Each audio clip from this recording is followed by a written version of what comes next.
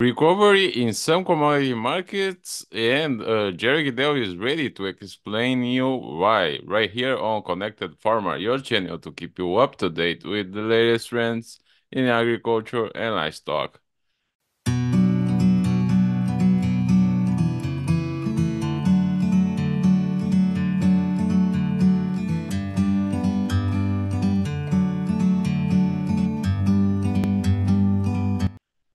So, Jerry, how are you? We have I don't I don't want to use the word shaky, but uh, we had uh, volatile markets this week. Uh, particularly corn, uh, we have some uh, changing movements, and uh, soybean uh, had rebounded on Friday as well. How can you explain all that? What do you, what's the main thing in these markets?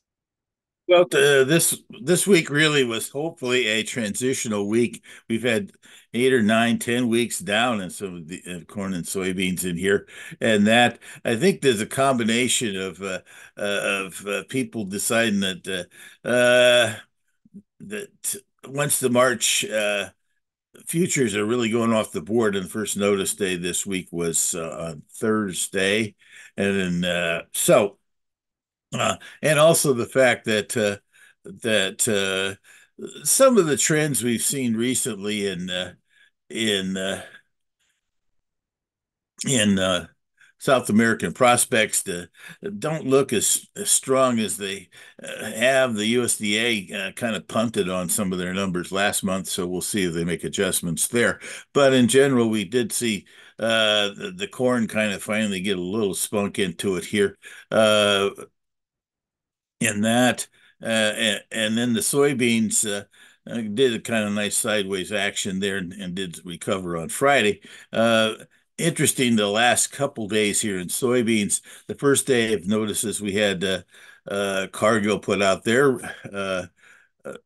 hedge receipts they had over the January to March period.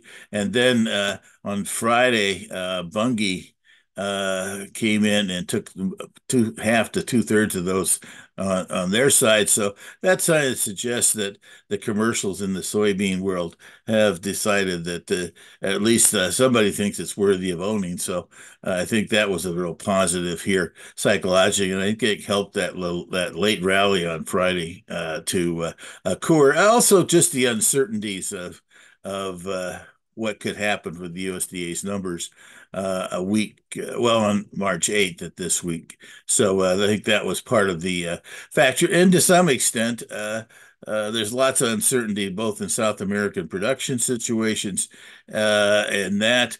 and so, and ongoing issues in the Mid East and, and Black Sea is also floating around in here. So I think there was a, uh, well, I think that there's no reason to keep pounding this market like they have uh, for most of uh, uh 2024.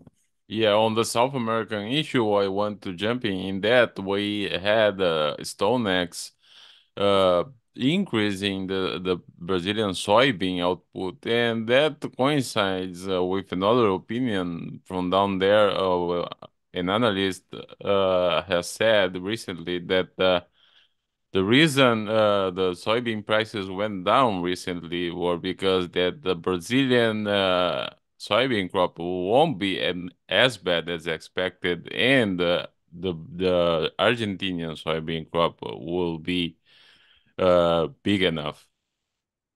Yeah, that that's been a theory that's been kind of floating along in here uh, from that standpoint. I, the the twist of it is is that the uh, reports that we're still getting from the major producing areas, Mato Grosso, Mato Grosso do Sul, Paraná, things like that, uh, not so not uh, uh, not that solid the numbers at this point. Actually, they're talking about the ten to fifteen percent off year over year yields, and that's pretty significant. And those are the uh, along with Goiás, uh, is uh, the real four major uh, producers. Uh, of course, Rio Grande's in there too. Uh, but I think that the, the, interesting twist, and I think he, the reason this person was pointing to was the North northern northeastern provinces, Tocantins, uh, uh, Biafra, other ones up that direction. They did not get a lot of plantings in this year early because of the dryness uh, and that, and it has improved uh, uh, in the northern areas. But those are not your primary areas. Now, I, I know there's a chance they could help us help uh, Brazil in their output. I wonder though if it's going to be a huge turnaround uh, at this point. Uh, you know, actually, I think the the StoneX number was up about a million metric tons, uh, and that, and uh, I guess the the real interesting thing is where do we start? Do we start below 150 in this year's uh, Brazilian crop, or did we start at 150 as what the StoneX people were looking? They do have quite a uh, an area of uh, expertise. They're down in Brazil.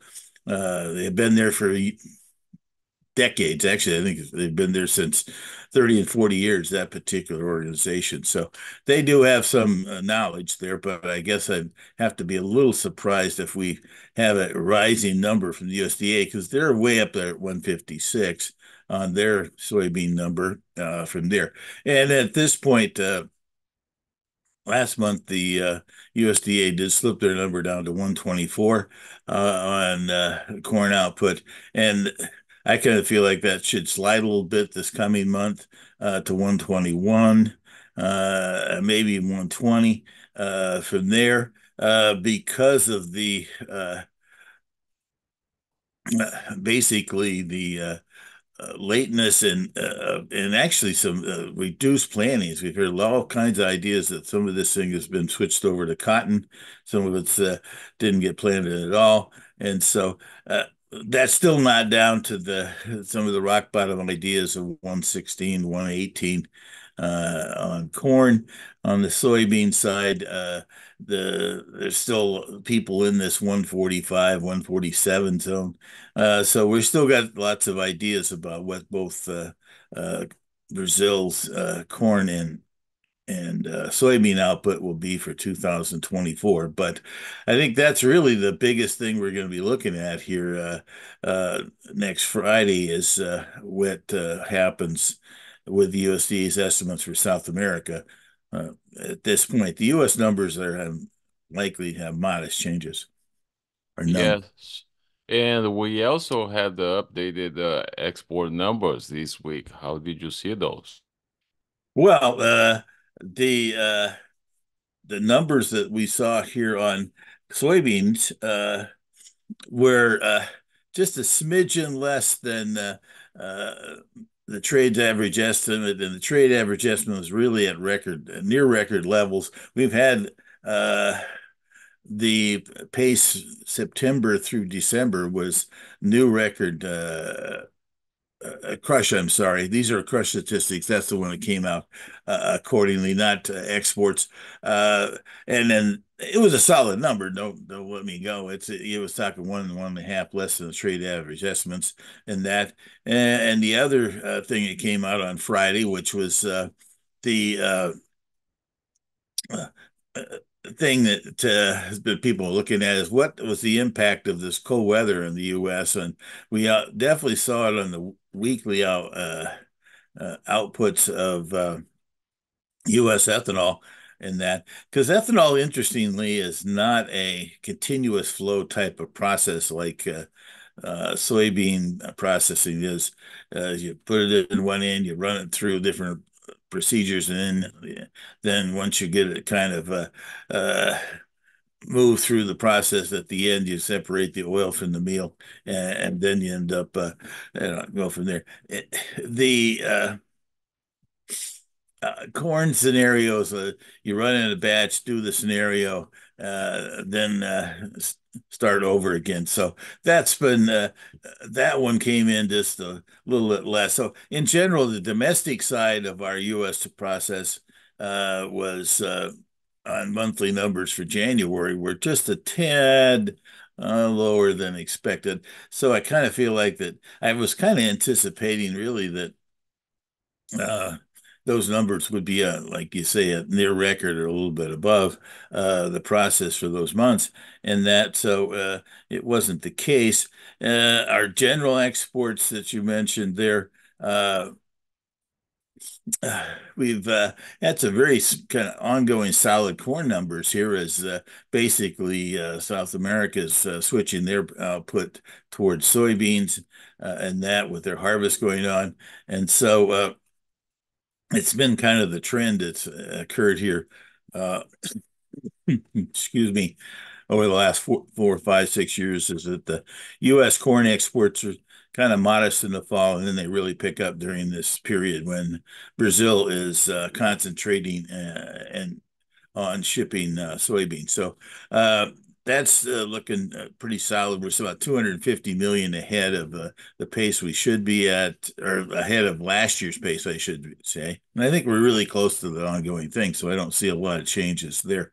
On the soybeans, there's been a little disappointment. Primarily, just talked about the South Americans uh, concentrating on beans, and uh, the last few weeks here, our sales uh, on beans have only been like two and a half and, and five or five and a half million bushels, which uh, makes you a little uh, knock need here on the exports on beans. But I kind of feel like that if this numbers here on output in uh, Brazil, because of the dryness they've had, because of the uh, issues that have occurred uh, in that area that the production could be slipping and that I kind of feel like that we're going to still be able to uh, hit the USDA's numbers because we are dealing with a small uh, export outlook because of last year's crop. So uh, I kind of feel like that uh, that's still uh, going to hang in there. But that could be an interesting one. They took off uh, 35 million last month on U.S. exports soybeans because of this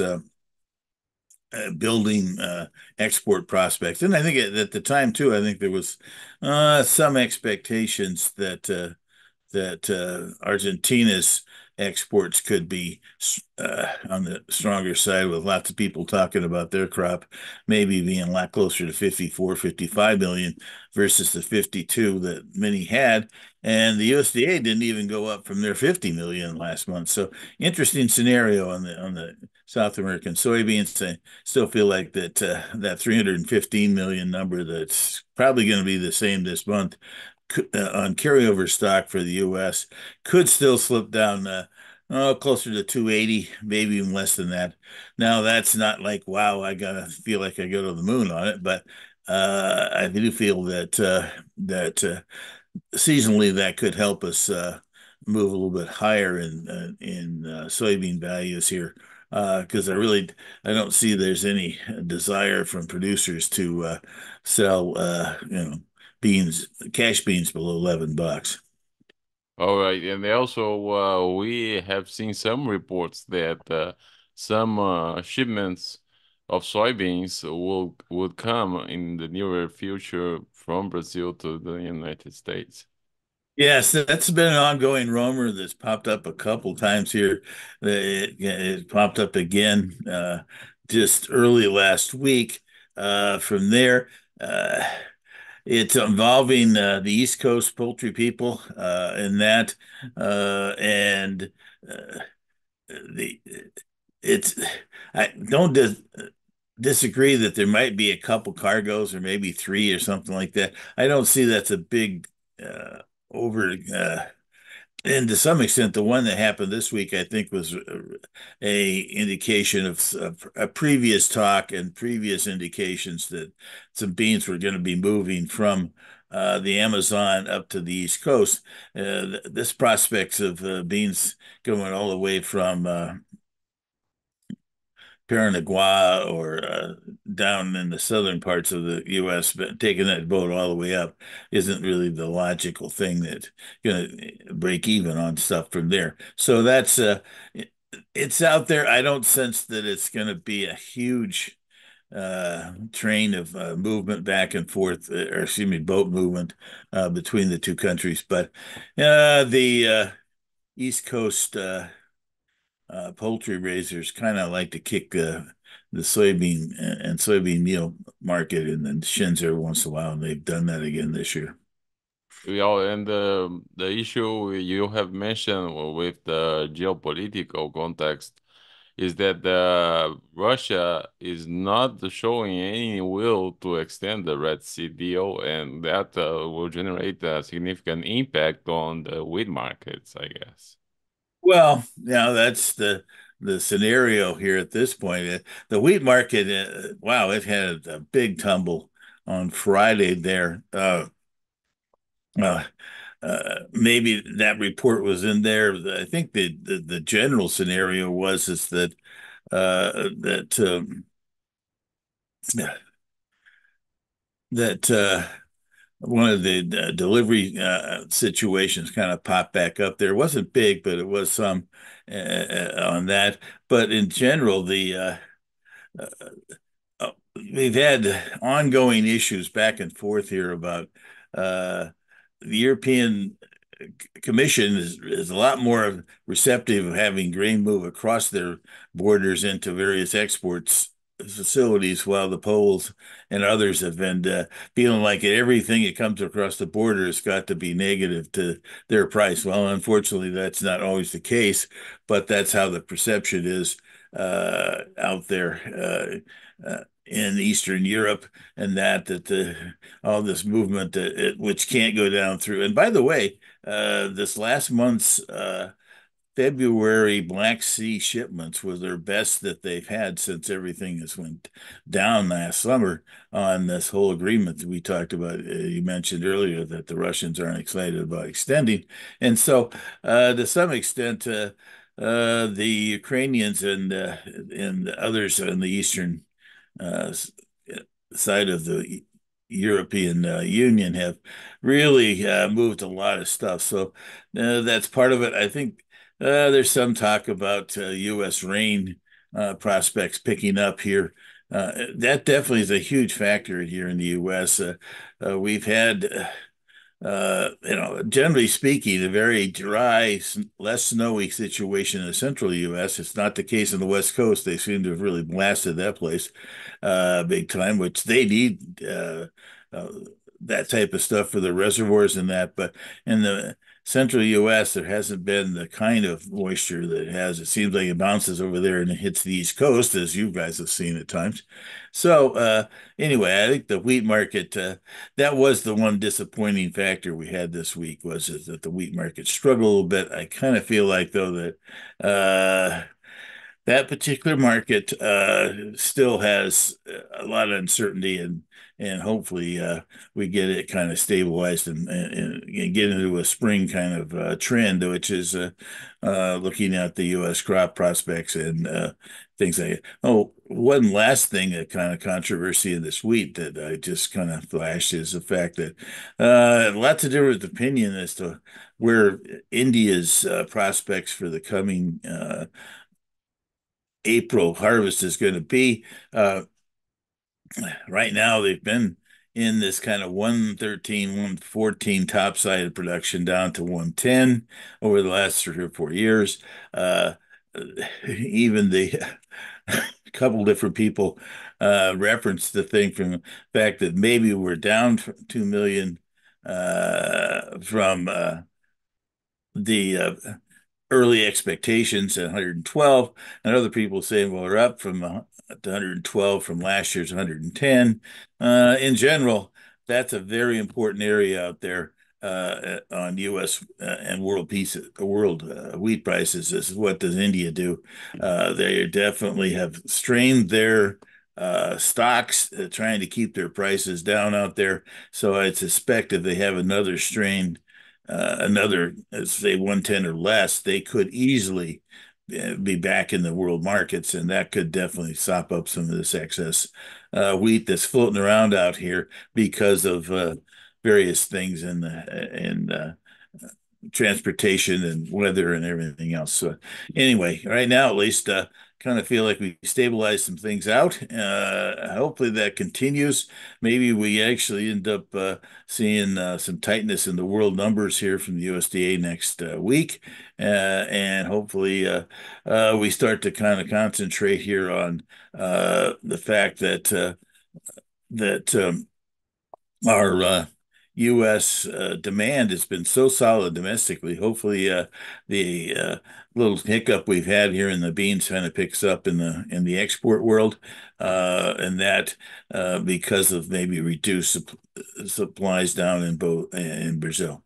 But anyway, it's uh, another choppy week, but potentially maybe it's a transition. All right. Thank you very much, sir. You bet. Take care, and we'll talk next week.